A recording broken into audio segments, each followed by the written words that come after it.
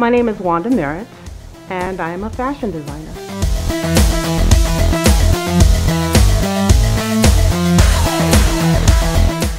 What got me into doing fashion was uh, actually as a young girl, I always loved fashion. And what I would do is if my mother purchased garments that I wasn't that fond of, I would completely reconstruct them.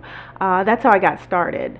Uh, I began taking sheets from the closet and uh, drafting patterns on them and uh, putting together outfits for school. I can remember staying up till one and two o'clock in the morning to create an outfit for the next day. So it's just, it's always been a real passion.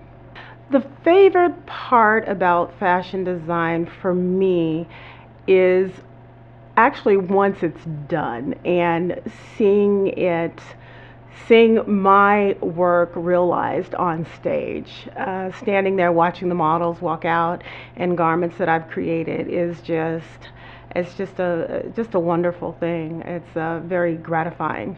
Uh, my goals in fashion, uh, actually, I have just recently created a small ready to wear collection, and I would really like to get those into uh, department stores, uh, maybe Macy's or Neiman Marcus, uh, is uh, is what I'd like to do. Uh, also, I've come up with a garment that I think uh, could be a pretty big seller. I'm looking forward to getting that on the market.